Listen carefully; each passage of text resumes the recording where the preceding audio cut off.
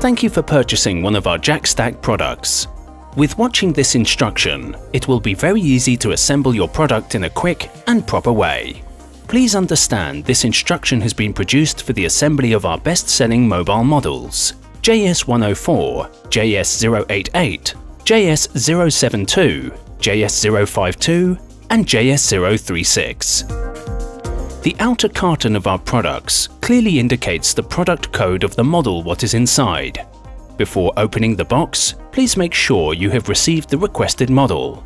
Cut off the tie wraps and carefully open the box. Please take all the parts out of the box, and as you can see, we have already fixed the four swiveling wheels on the base. Two of them are equipped with brakes.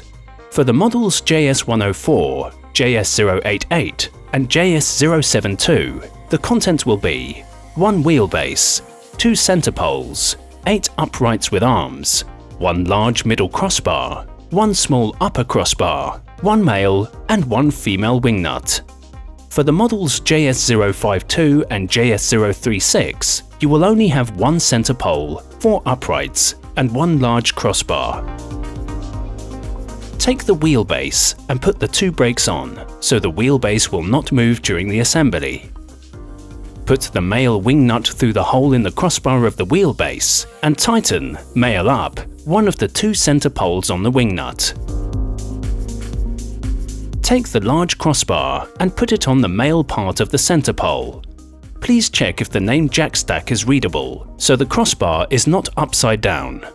You are now able to take four uprights to slide them from four sides between the base and crossbar. Please check the up marking on the uprights. Move the uprights to the size you need. They all have to be set at the same marking on base and middle crossbar. By moving them in or out, the plate size will change to the required size.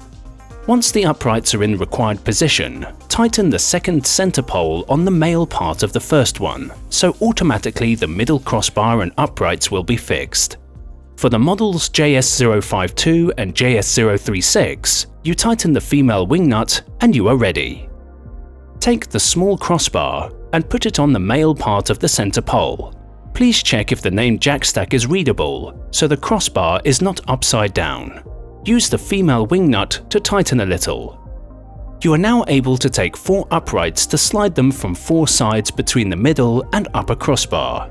Please check the up marking on the uprights. Move the uprights to the size you need. They all have to be set at the same marking on middle and upper crossbar. By moving them in or out, the plate size will change to the required size. Tighten the upper wing nut completely and check the wing nut at the bottom. If both are sturdy fixed, your jack stack is ready to serve you.